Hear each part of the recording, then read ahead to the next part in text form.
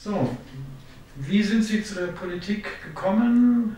Ähm, und dann auch später vielleicht im Rückblick, hat sich das Engagement gelohnt? Lohnt es sich noch?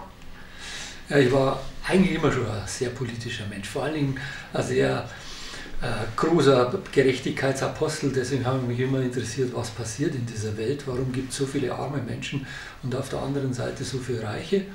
Das war so in den Jahren zwischen 68 und 70 eben auch in der Studentenzeit, wo man ohnehin aufbegehrt hat gegen alles, was äh, konservativ und ja, einfach zu wenig progressiv war in dieser Zeit. Wie gesagt, ich habe mich sehr stark interessiert für die Politik in der dritten Welt, sogenannten dritten Welt. Und dann kam eben Willy Brandt, der mit dem Anspruch kam, mehr Demokratie wagen, Gleichberechtigung und so weiter. Das hat mich unglaublich fasziniert und deswegen bin ich dann in die SPD eingetreten und war tatsächlich elf Jahre lang SPD-Mitglied, auch als Juso unterwegs. Und dann kam aber der berühmte NATO-Doppelbeschluss, also die Stationierung von Pershings und Cruise Missiles in Deutschland unter Kanzler Schmidt. Und das war dann nicht mehr meine SPD. Und deswegen bin ich 1982 aus der SPD ausgetreten. Ich habe dann während der, dieser Zeit an meiner Magisterarbeit geschrieben, nämlich ähm, gewaltfreier Widerstand in der Ökologiebewegung und habe da sozusagen im theoretischen Teil die Widerstandstheorien von Galtung oder Gandhi abgehandelt, aber im praktischen Teil die Programme von Greenpeace und habe parallel dazu auch die Parteiprogramme gelesen. Und das äh, grüne Parteiprogramm hat mich dann sehr überzeugt, denn erstens mal äh, setzte sich zusammen aus der Ökologiebewegung, aus der Anti-Atom-Bewegung und aus der Frauenbewegung. Alles für mich sehr progressive Politikfelder und das war der Grund, warum ich dann 1996, äh, Entschuldigung, 1986 bei Grüns eingetreten bin.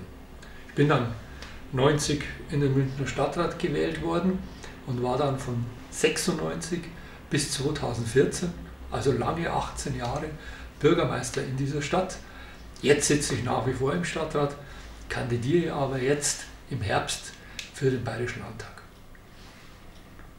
Hat sich die Partei im Laufe der Jahre gewandelt? Es ist ja alles im Flow, es entwickelt sich weiter. Realos, Fundis, die verschiedenen Bewegungen. Und was, was, hat, was hat die Partei bewirkt? Natürlich hat sich die Partei gewandelt, aber es hat sich auch die Gesellschaft gewandelt.